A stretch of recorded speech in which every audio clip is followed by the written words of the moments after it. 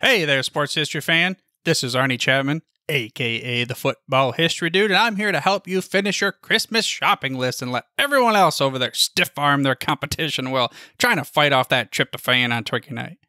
Now, what we did was we partnered with Rochester Sports Autographs, the largest JSA authenticated autograph distributor in the United States, where you can get up to 75% off over 30,000 autographed sports collectibles during this holiday season. They have something for everyone. But how is RSA able to offer such great deals on JSA authentication, you ask?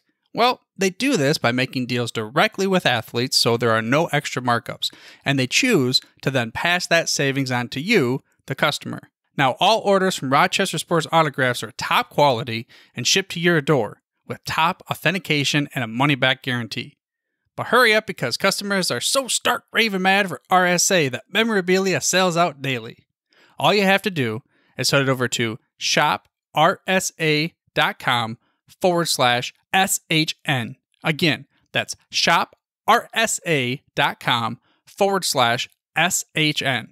So don't wait to bring home your favorites and own a piece of sports history for you and the loved ones on your shopping list this holiday season.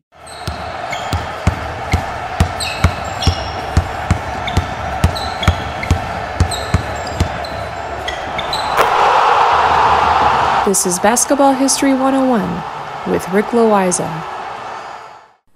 Welcome back to award winning Basketball History 101, part of the Sports History Network. I am your host, Rick Loayza, and this is the podcast where we bring to life some of the forgotten stories from basketball history. We are bringing old school basketball to a new school audience. And today we bring you the story of Elgin Baylor. He was the original hang time in the NBA. He was a player that took basketball from a horizontal game to a vertical game. He was the first player that played above the rim. When you think of high flyers like Zach LaVine, Vince Carter, Michael Jordan, Dr. J, or anyone else who seemed to defy gravity, then you have to start with Elgin Baylor. He was the first one who regularly used his leaping ability as a weapon. Now I want to bring you his story because he has somewhat of a complicated legacy. Now it will take me two episodes to share this with you. Part two of our story will be shared next week. Now, if you have ever spent time looking at the great NBA players from the past, then you will have heard of the name Elgin Baylor. He is part of the NBA 75 list from last season, and many basketball historians historians place Baylor in their top 20 players of all time. The basketball writer Bill Simmons wrote a book in 2009 called The Book of Basketball, and in that book, he placed Elgin Baylor as his number 14 player of all time. Now, when I first started watching NBA basketball in the mid 1980s, I only knew of Elgin Baylor as the general manager of the LA Clippers, and the Clippers were absolutely awful back then. Only later did I find out that he used to play for the Lakers and was teammates with Jerry West for 12 years. West was the general manager of the LA Lakers and was collecting championships the way that other other people collect sneakers. Meanwhile, Elgin Baylor looked like he bought all of his sweaters from Bill Cosby's yard sale and doing everything he could to put the Clippers out of business. In the city of LA, Elgin Baylor was a joke as a general manager. He ran the Clippers for 22 years and only had two winning seasons. Any other team would have fired him after just the first two or three years, but not the Clippers. The ownership of the Clippers did not seem to care that the team lost games year after year. It almost seemed like they were not even trying to win. Only when I started to get serious about basketball history did I discover just how good he was as a player. And let me just list a few of his accolades. Baylor was an 11 time All Star player. He was named to the All NBA team 10 times. He was the 1959 Rookie of the Year and the 1959 All Star Game MVP. And he made every top player list that the NBA has ever produced that he was eligible for. He also went to the NBA Finals eight times and lost all eight times. Now, this is what I mean when I say that his legacy is complicated. In his time, he was considered by his peers to be the best one on one player in the league. He was unstoppable. For defenders around the NBA, Elgin Baylor was their nightmare matchup, but he could not win the NBA Finals. Here's another bit of information. Even though he has been retired for over 50 years, he still has the third highest career scoring average in league history. That's right, he's third. Michael Jordan is number one with an all time highest scoring average at 30.12 points per game for his entire career. Wilt Chamberlain is next at 30.07 points per game. And in third place, after 75 plus years of NBA basketball, is Elgin Baylor with 27.36 points per game. Now, by the way, Kevin Durant is fourth with 27.18 points per game, and LeBron James is fifth with 27.13 points per game. So, how often do you hear the name Elgin Baylor mentioned in a conversation about the greatest scorers in league history? Unless you are talking to someone who was part of the NBA back in the 1960s, the answer is hardly ever, and that is a shame. Of course, that is why we do this podcast, to keep these older players in the conversation. By scoring average, Baylor is literally the third best scorer in NBA history, and I think that deserves to be part of the conversation. But let us go back to the beginning. Elgin Baylor was born on September 16, 1934, in Washington, D.C. He was born to John and Uziel Baylor. Segregation was still the rule of the day. There were still separate schools, restaurants, movie theaters, bathrooms, and drinking fountains for black people and white people. Baylor grew up near a recreation center with a basketball court but he was not allowed to use it because he was black. Thankfully, there was a boys' club a little bit further away where he was welcome to play. His two older brothers, Sal and Kermit, played there and he just followed them. As a kid, he was bigger, stronger, and faster than most of the other kids. Like most players that play in the NBA, Elgin Baylor won the genetics lottery and possessed size and coordination that very, very few people are ever blessed with. For his first two years of high school, he played at Phelps Vocational High School for the 1951 and 1952 seasons. It was an all black high school, and they were only allowed to play other all black high schools. He dominated the competition, averaging nearly 28 points per game and 19 rebounds per game, and he was named two time All City player. But he was not a good student and dropped out of high school after just the second year.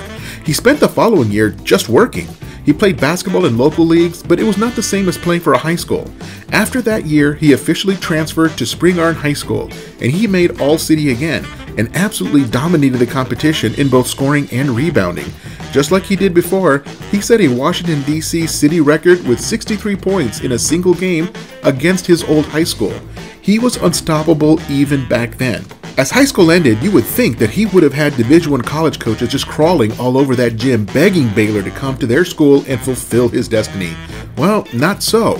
It was 1954 and most Division One coaches had no need for a black player as good as Elgin Baylor. Now, what I just said sounds very counterintuitive. Today, every college coach in the country wants as much talent as he can get. It does not matter where the player comes from or what he looks like. But back in the early 1950s, most coaches had to be careful recruiting a player like Elgin Baylor. Now, most coaches from northern schools had no problem having one or two black players on their team, but those players had to be role players. They could not have a black player be the star of the team, and Elgin Baylor was definitely a star. He ended up at one of the only schools that would let him be the star, the University of Idaho. He was a 20 year old freshman when most freshmen are 18. He played there for only one year and averaged 30 points per game. It was a great start to his career, but he was convinced to transfer to a bigger school, but it meant sitting out a year. There was no transfer portal back then, so he left for Seattle University. He sat out his first year at Seattle University because of the way the transfer rules worked back then. It was the 1955 56 school year, and he could practice with the team, but he could not play in any of the games. But the interesting thing was that it was 1956 and he was 22 years old, and that meant that he was eligible for the NBA draft. Everyone in the NBA knew that Baylor intended on playing for two more years at Seattle University, so teams were hesitant to waste a draft pick on someone who might never play for them, no matter how good he might be. But the NBA draft had no limit on how many rounds they went. Today, the NBA only has two rounds for the draft. Back in 1956, the NBA just kept going and going and going until nobody wanted to pick anymore. So the Minneapolis Lakers took a chance and selected Baylor in the 14th round, the 91st pick overall, and the pick was wasted. Baylor stayed at Seattle and played two more seasons, and for those two seasons, he played incredibly well. He averaged 30 points per game and 20 rebounds per game. That kind of talent would be the first overall pick in the draft in almost any era.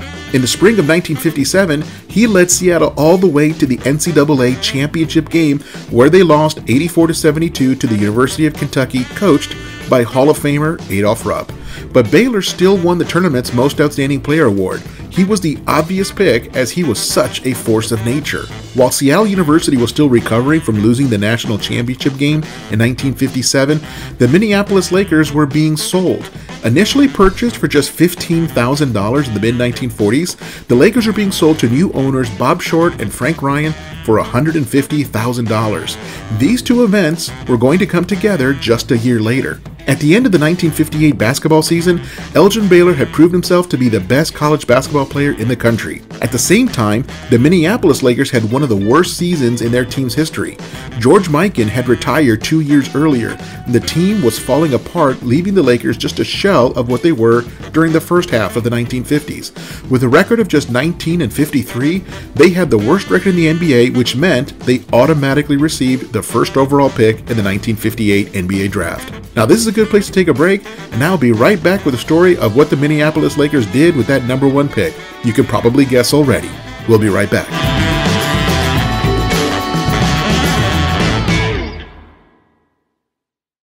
This podcast is part of the Sports History Network, your headquarters for the yesteryear of your favorite sport. You can learn more at sportshistorynetwork.com. At the Sports History Network, we're all about sports yesteryear, and so we're so pleased to introduce you to Row One, an online memorabilia gallery and shop that brings your sports history to life anywhere. The Row One gallery includes over 5,200 gorgeously reproduced prints of team posters, game program covers, game tickets, advertisements, and more in baseball, pro and college football, pro and college basketball, and more. And any gallery item may be printed in a variety of sizes on wood, metal, canvas, acrylic, or poster paper. And in Row One shop, check out the thousands more of unique unique items with a retro and historical designs dating back to 1876, including t shirts, long sleeve shirts, phone cases, mugs, blankets, pillows, towels, and even shower curtains. Go to sportshistorynetwork.com, ROW number one, for access to the full Row 1 catalog and for gallery prints and gift items, plus get a 15% discount off all prints on the Row 1 Pictorium Gallery with coupon code SHN15. Follow the link on the show notes.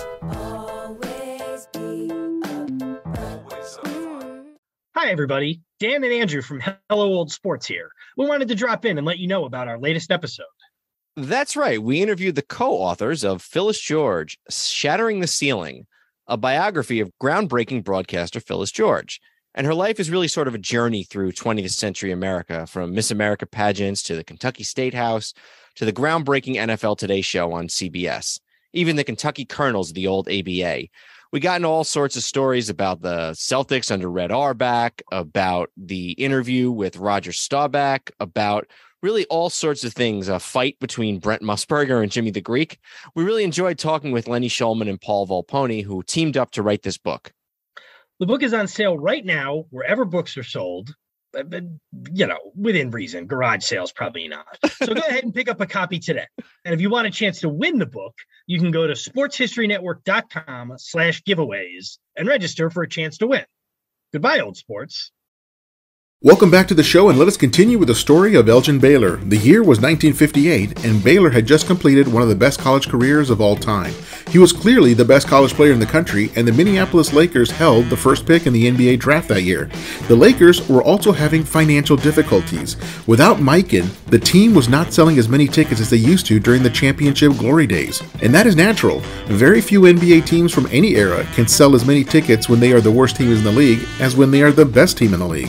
And the thing about the 1950s is that the NBA was not as established as it is today. It was not yet the multi billion dollar league that we see. Going out of business was a very real possibility for a team that had won five championships at the time. The team needed to do something drastic in order to sell tickets and keep the franchise alive.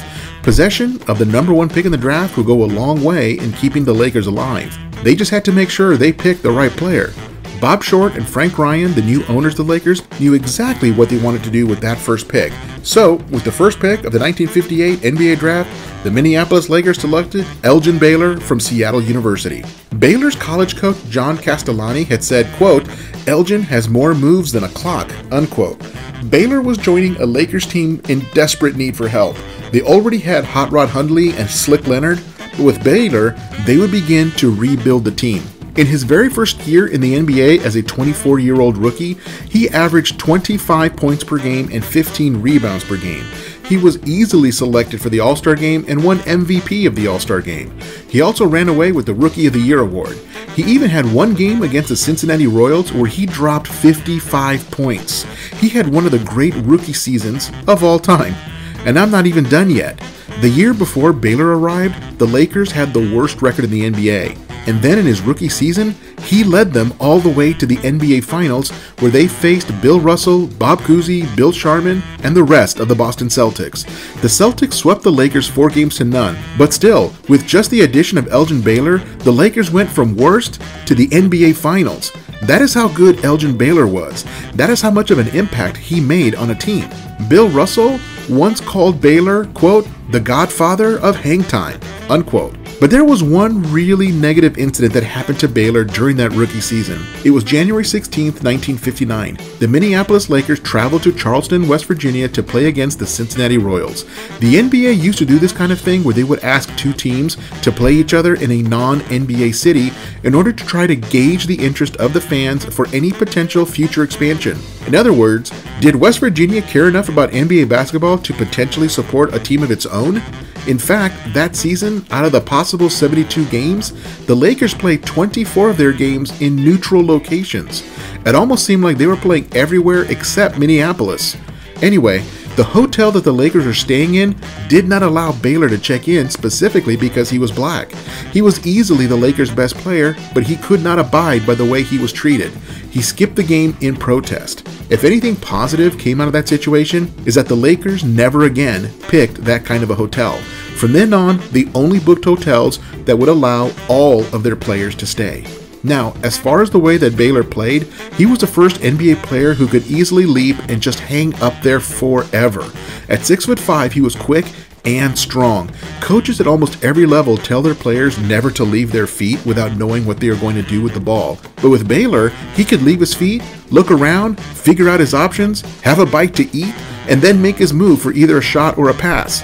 As I said at the top, Elgin Baylor was the player who first took the NBA from a horizontal game to a vertical game. He played above the rim and set the blueprint for all of the players that would come after him. He was hang time before Dr. J and Michael Jordan and Kobe Bryant and Vince Carter and Zach LaVine or Aaron Gordon. Elgin Baylor was the original hang time. It's really hard to defend a guy when he is flying through the air three feet above your head. But that was Elgin Baylor. Well, that takes us through his rookie year in the NBA. Be sure to come back next week when we share the rest of the story of Elgin Baylor. That's next time on Basketball History 101, part of the Sports History Network, the headquarters of Sports Yesteryear.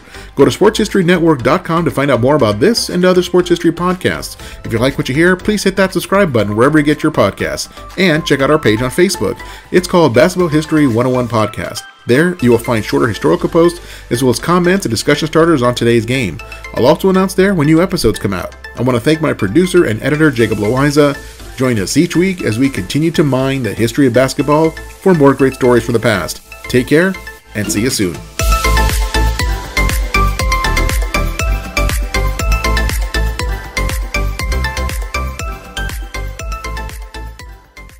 Hey there, sports history fan. This is Arnie Chapman, aka the Football History Dude, and I hope that you enjoyed this recent episode presented by the Sports History Network and were able to learn some good old fashioned sports history knowledge nuggets. I started the Sports History Network back in 2020 with the mission to help podcasters find a community of like minded sports history nerds as well as helping aspiring podcasters to start their own shows. We have a little bit over 30 shows on the network right now covering all sorts of sports history. But as far as I'm concerned, we're just at the toothpick in the ocean moment, you know, that can't even figure it out because there's so much more coming. We wanted to create the ultimate headquarters for sports yesteryear, starting with Podcast Network and our website, but we're going to continue to move into other mediums as well. And here's the cool part because we want you to be part of our team. So if you're interested in starting your own podcast, or maybe being a guest on one of our shows, or who knows, maybe even writing an article for us over on the website. Seriously, all you gotta do is reach out to us on the contact page over at sportshistorynetwork.com.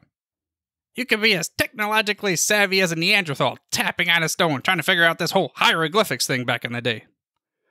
Again, it doesn't matter because even if you don't understand the whole podcast space, we have a production team that can pretty much help you out with doing everything. All you got to do, head over to sportshistorynetwork.com, head to the contact page, fill it out. That message goes right to me, and I'll reach out to you as soon as I can.